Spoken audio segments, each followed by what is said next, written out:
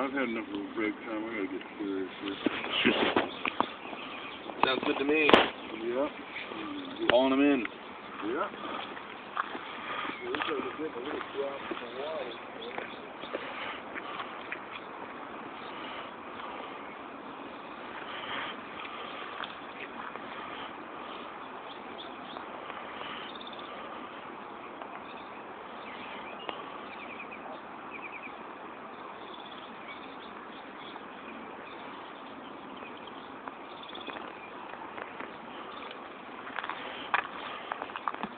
All right. So, um, it's going to take length and weight first of all. So, 420 and 370.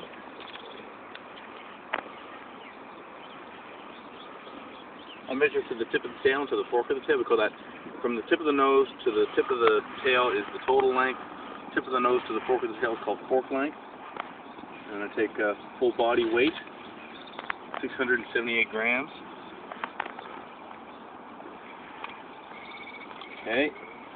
Take a scale sample, and we can determine um, degree of repeat spawning, whether or not this is a virgin spawner or a repeat spawner from the scales.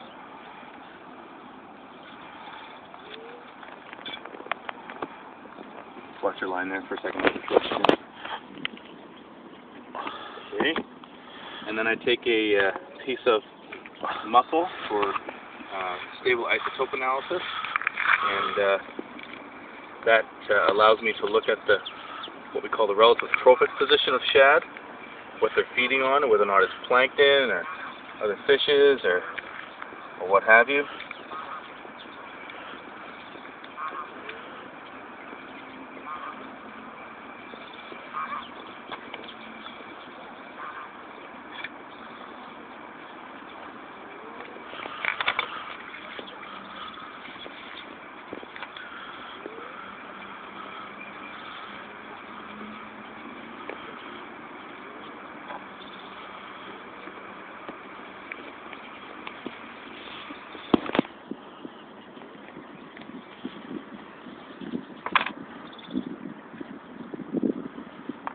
Take a piece of fin for uh, taking the DNA, so do a genetic assessment of the population.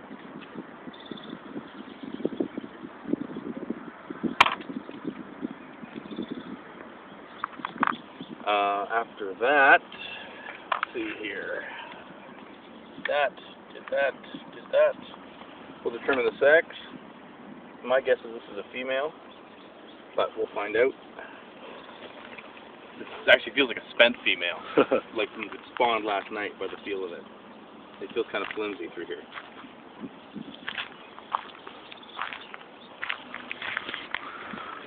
Yeah, it is a female. Um, so, shad are what we call batch spawners. They don't spawn just once. They get um, continual development of eggs as they're in the river. So, if you catch a shad early in the season, a big female, she might get rid of all her eggs, but she probably has more eggs to develop through the season. So, but the potential reproductive effort is actually really quite high. So, here's the eggs. You can see these right here. Uh, I'm going to take them out and weigh them.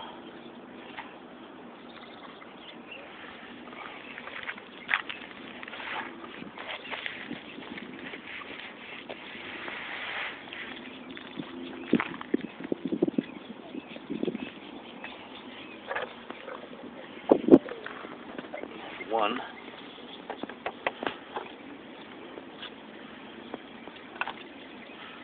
I'll get the other one here.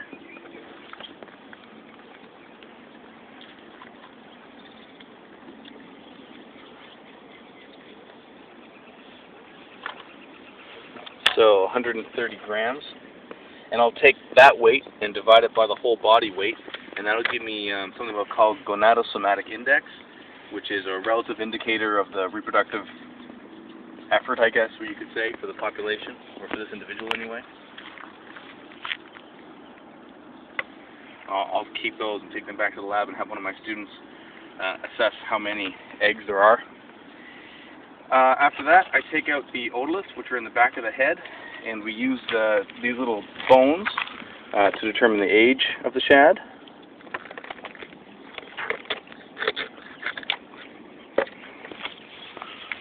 It's a bit like shad brain surgery.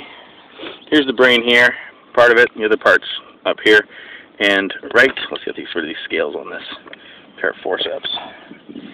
Right down in here are two little bones, which I'll pull out, hopefully.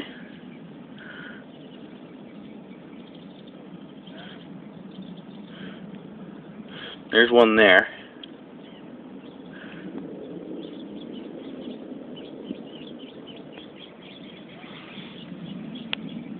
That's one of them. And the other one's on the other side.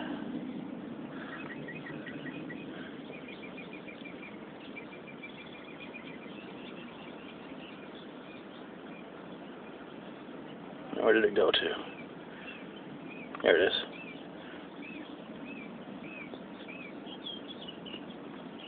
Just had it.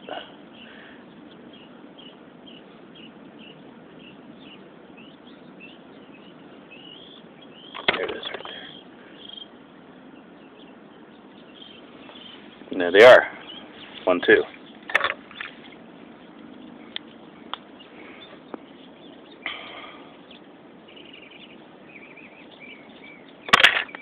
That goes in there.